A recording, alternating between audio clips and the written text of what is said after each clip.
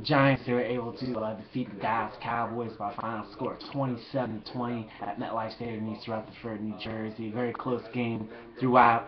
Dwayne Harris with 100 yard kickoff return for a touchdown after the Cowboys went down the field led by Matt Cassel. They were able to uh, tie it up at 20 20, but the Giants they were able to hang in there, and Dwayne Harris right after the Cowboys tied it up really the punch to the gut, if you will, by the Giants to the Cowboys. Dwayne Harris, 100 yard touchdown, 100 yard kickoff return for a touchdown for Dwayne Harris. The Giants 27 and the Cowboys 20. The Giants improving to 4 and 3 on the season. The Cowboys falling to 2 and 4. The Giants and Cowboys split the season series. Cowboys won in Dallas, gut wrenching loss to the Giants.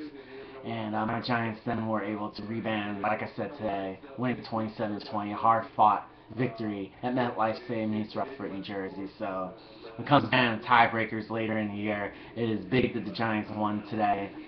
Obviously, uh, securing a split, the Cowboys one to one season series. So it'll come down to who has a better division record, and if that's still tied up, then it'll come down to who has a better record in the NFC. Uh, in the NFC uh, conference, and then if that doesn't do it, then you start getting into common opponents and what the Giants and Cowboys records are in those uh, scenarios. But uh, it's early still for that. It usually comes down to the division record when you have two teams that are in the same division fighting for a playoff spot division or a wild card spot.